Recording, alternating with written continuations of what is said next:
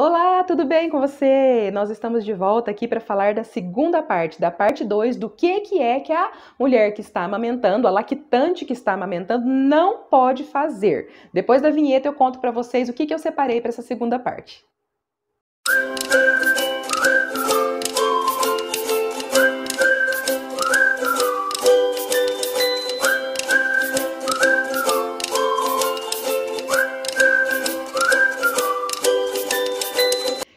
Estamos de volta. E antes de eu falar para vocês a primeira, a segunda parte do que, que é um lactante que está amamentando, né? Não pode fazer. É, não se esqueça de se inscrever no nosso canal, de deixar o seu like para ajudar o nosso canal a crescer, de compartilhar o nosso conteúdo também e de salvar para ver depois. Primeira coisa aqui que eu marquei: é marcar horário para amamentação. Não deve fazer isso. Por quê? A amamentação é sob livre demanda. O que, é essa livre demanda, então, Renata? Me conta. O bebê vai mamar a hora que ele quiser. O bebê, ele tem bebês que demoram mais tempo para esvaziar a mama e tem bebês que esvaziam mais rápido. Se o bebê fizer uma sucção mais forte, mais profunda, ele vai rapidinho esvaziar aquela mama e vai ficar saciado. Mas se o bebê for um bebê que suga mais devagar, mais lento, ele vai demorar mais tempo na mama. Então, se o seu bebê mamou agora e daqui uma hora e meia, duas horas, ele quiser mamar de novo, não é que é porque o seu leite está fraco ou porque o seu bebê está passando fome, porque o seu leite não está sendo suficiente. Não, é porque o seu bebê tem um padrão de sucção mais é, rápido, esvazia, é, esvazia a mama mais rápido vai daqui a pouco estar tá com fome de novo. Se ele demora mais tempo mamando, aí ele vai demorar mais também para querer mamar de novo, vai dormir um sono mais longo. Então, livre demanda, por isso que a mulher que está amamentando, ela tem a licença maternidade de quatro meses ou de seis meses, porque esse momento é para ela se dedicar à amamentação, ao aleitamento. Livre demanda, o bebê vai mamar o tempo que ele quiser. Como que você vai saber se o seu leite está sendo suficiente ou não? Você vai observar eliminações, que é fralda de xixi e evacuação.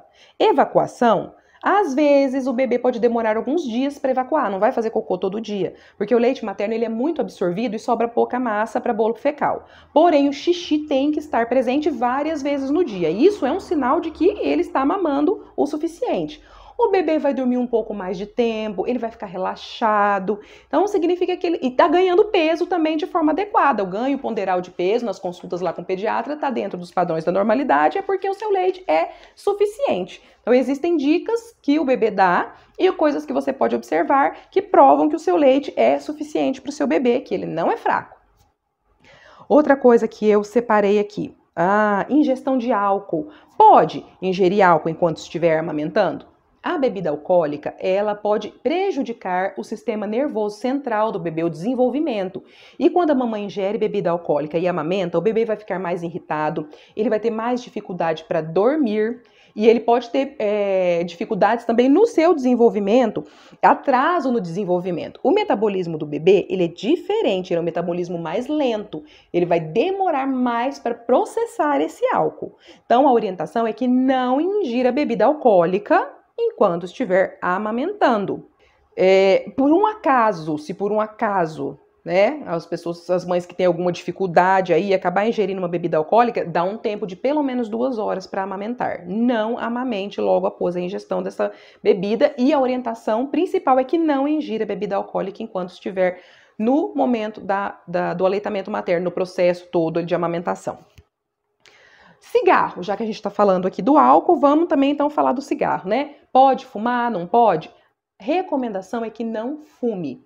Mas tem mães que fumam e têm dificuldade de parar durante a amamentação ou até durante a gestação. Isso não é motivo para desmame. Os benefícios do aleitamento eles superam a, a, o fato da mãe estar ser tabagista.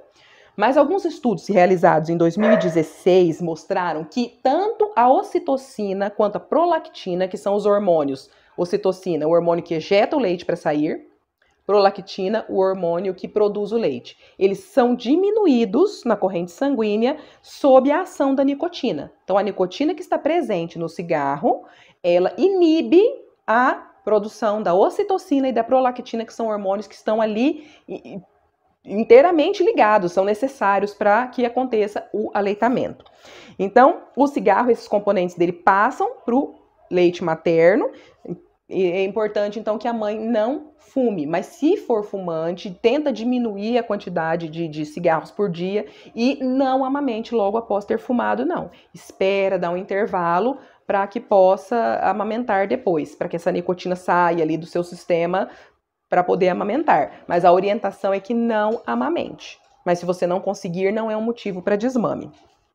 E tintura de cabelo progressiva, é, selagem, pode ou não pode?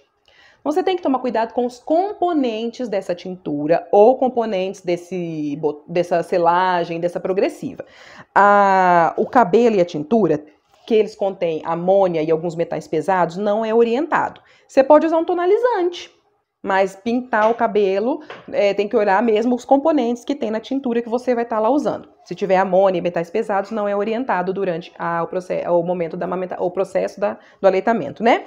E a progressiva e a selagem contém formol e também contém algumas substâncias que são pesadas que prejudicam a, o aleitamento. Então, a orientação é que não realize esses procedimentos quando está amamentando. Ah, anticoncepcional. Então, o que, que uma mãe que está amamentando não pode fazer em relação ao anticoncepcional? Usar anticoncepcionais combinados, que tenham estrogênio, estrógeno. Né?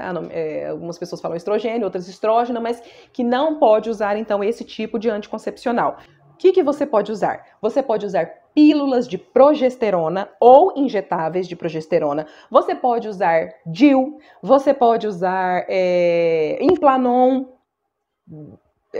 como método contraceptivo, mas os que contêm o estrógeno ou estrogênio não são recomendados na fase da amamentação que mais que eu separei aqui para vocês? Ah, cafeína. Já que a gente falou ali do álcool e falamos do cigarro, então vamos falar da cafeína. Quando a gente fala em cafeína, eu tô falando de alguns chás, eu tô falando de refrigerante, eu tô falando, né, de, de às vezes é, até um chocolate que é mais ou menos ali parecido. Então, qual que é a recomendação? É, essas substâncias também atrapalham o sono do bebê, deixam o bebê mais irritado e mais agitado. Seria bom que não consumisse esse tipo de alimento quando tivesse amamentando. Então, é, a cafeína que eu falei, né? O, o, as, todos os alimentos que contêm cafeína. Observar sempre, porque não é só o café que contém cafeína. que mais também? Ah, produtos light ou diet. Então, né, a gente quer perder logo o peso, como eu falei na, na parte 1 do que, que você não pode fazer quando está amamentando, que uma dieta rígida, né? Dieta muito rigorosa. A o consumo também de produtos light e diet não é recomendado enquanto está amamentando. Por quê? Porque ainda não tem estudos que mostrem se, que esses componentes dos produtos light e diet não interfiram no desenvolvimento do bebê. Como ainda não tem estudos que comprovem, é melhor não usar. Então, a recomendação é que não use, porque ainda não se sabe os efeitos que pode causar no bebê. Não sabe se, se, se eles são seguros para o bebê. Então é melhor não usar. Mesmo porque nós falamos no, no vídeo anterior que não é o momento de se fazer uma restrição calórica, porque já a amamentação gasta calorias e é, ajuda a voltar o peso pré-gestacional. Então, não é o momento de estar tá usando esses, esses alimentos e nem mesmo fazendo dietas rigorosas. Vamos então só relembrar o que, que foi que a gente falou aqui. Nós falamos sobre a ingestão de álcool, falamos sobre o cigarro, falamos sobre a cafeína, falamos sobre cabelos, tintura, selagem é, progressiva, falamos sobre o uso dos contraceptivos e falamos também dos produtos light ou diet. Se você não viu a primeira parte, então você vai lá, olha, assista a primeira parte. A primeira parte eu falei sobre dieta rigorosa, medicamentos, uso de bicos compressa morne fria, sutiã de amamentação, água e chás e não acreditar no seu leite. E isso tudo a mulher, a lactante, a mulher que está amamentando não pode fazer. E nesse vídeo agora, uma coisa que eu esqueci de, eu falei, né, mas eu esqueci de enumerar aqui, foi é, marcar horário para amamentação, lembrar sempre da livre demanda. Então, se você tiver mais alguma dúvida, pergunta aí, deixa a sua dúvida nos comentários, que eu vou ter maior prazer em responder e até a próxima.